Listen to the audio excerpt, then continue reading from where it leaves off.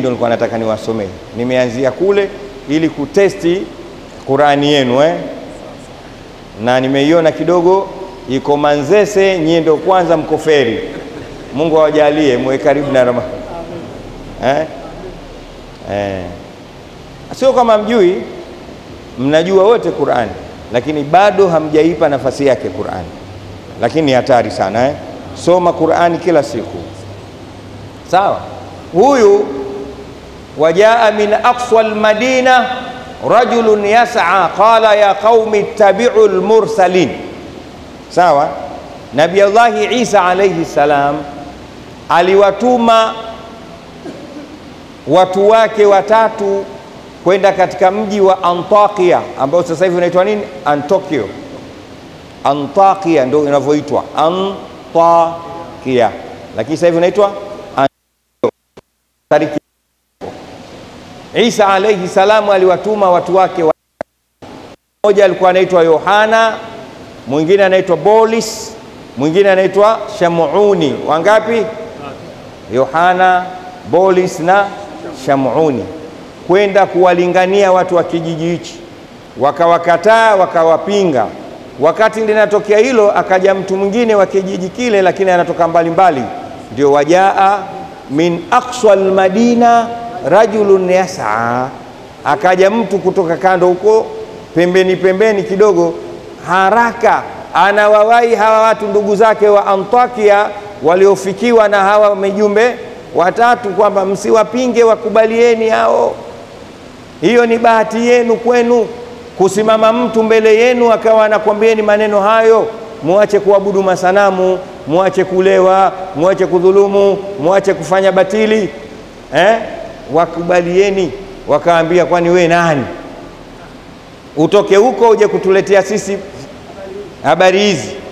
Walimpiga wakamuua, walimpiga watu wa Antakia wakamuua yule mtu anaitwa Habibu najar Habibu ni mmoja katika wale subaku thalatha.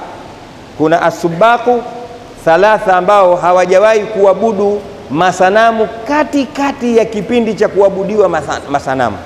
Mmoja huyu Habibu Najjar, wa pili Mu'minu Firaun, na huyu anamwita sahibu Yasin. Anaitwa nani? Sahibu Yasin ndo Habibu Najjar, na yule muumini wa Firauni. Sawa, Firauni akamuuaga, na watatu Sayyidina Ali ibn Abi Talib radhiyallahu anhu, mswaleni Mtume Muhammad wanaitwa thalathu asubaq.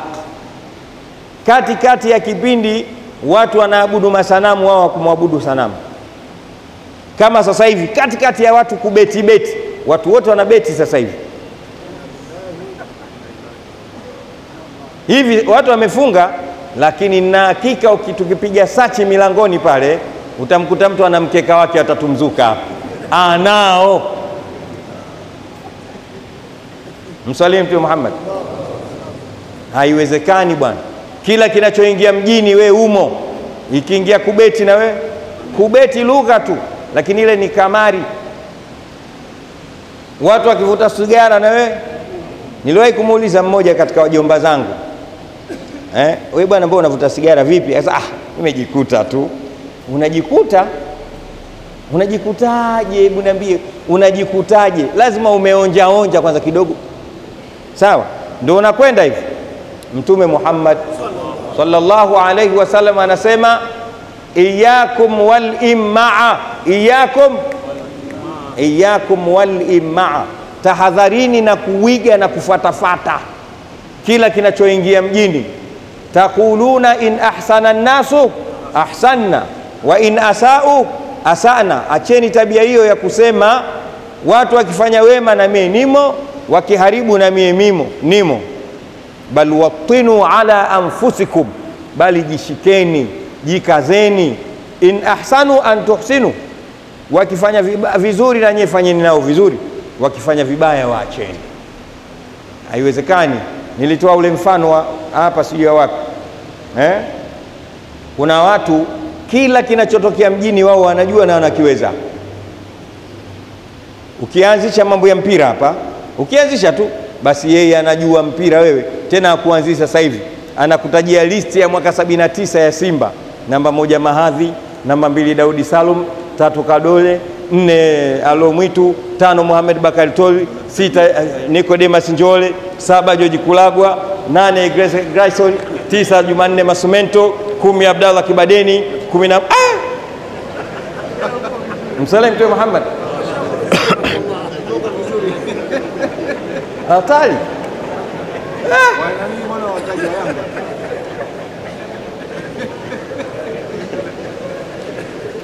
sallallahu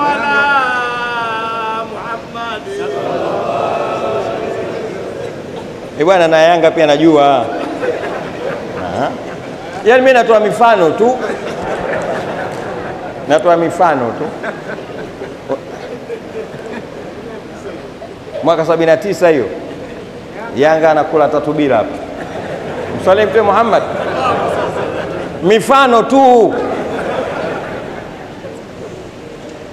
sawa. Yaani mtu ukimwanzishia habari za mpira yumo, habari za siasa yumo, hata ukianzisha habari za sijui kupigana kabali yumo. Nikamtaja mzee mmoja tulikuwa naye mtaani kwetu eh, yule alikuwa anaitwa mzee Abdu. Chochote utakachoanzisha yeye na niliwahi kusafiri siku moja, vipi bwana Walidi, mbona upo Sikuoni. Nikaambia nilikuwa Tabora. Ambia, ah, Tabora hapo nimekaa miaka 15 nikapotea tena. Mimi nasafiri safiri, nadhani najua bwana, mbona uonekani? Nikamwambia nilikuwa Tanga. Ah, Tanga hapo nimekaa miaka ishirini.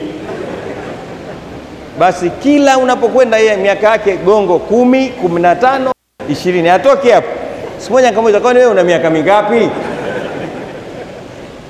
Sasa tusiwe hivyo.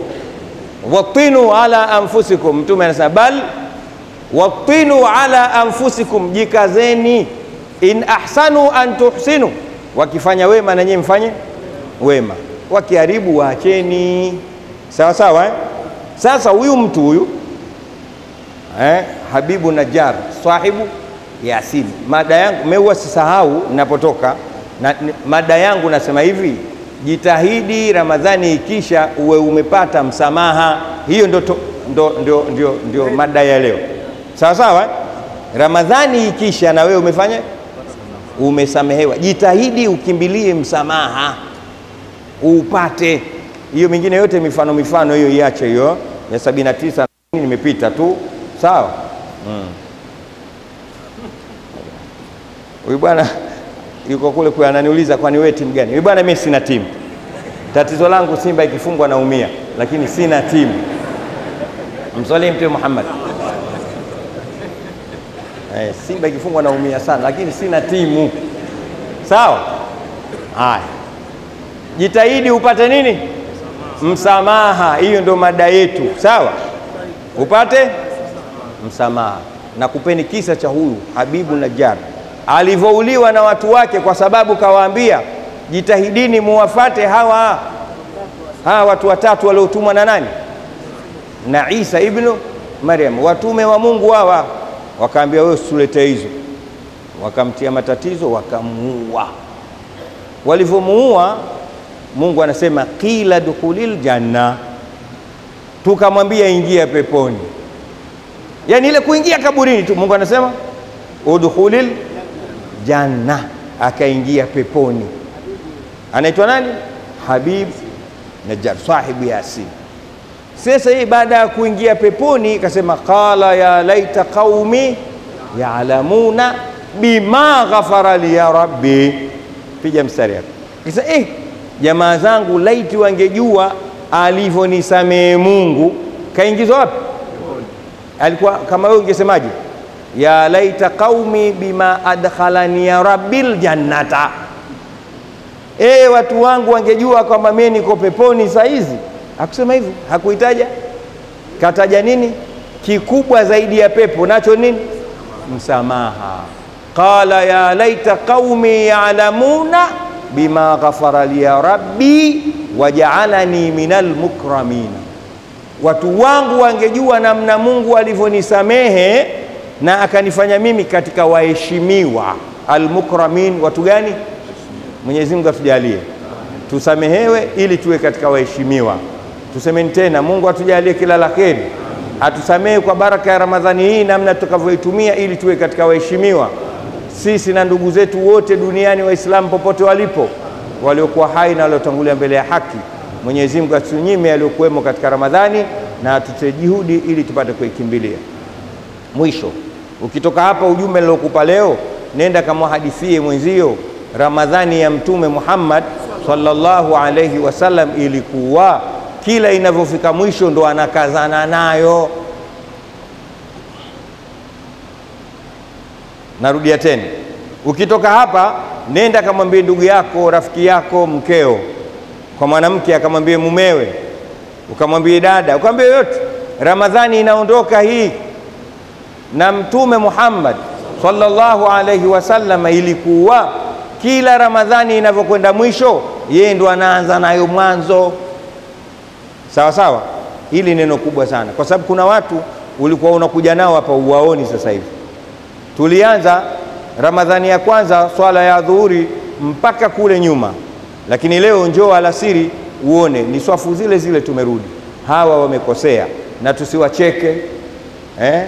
Tusiwacheze shere, tusifanye chochote ni ndugu zetu, tuwapende, tuwaambie rudini misikitini. Ramadhani hii ni kheri kubwa kwetu, na baraka nyingi, na Mtume sallallahu alaihi wasallam tuliokuwa tukimfata Ramadhani yake yeye ilikuwa kadiri inavyokwisha, yeye ndo anaongeza nguvu na juhudi. Mwenyezi Mungu akujalie kila la kheri.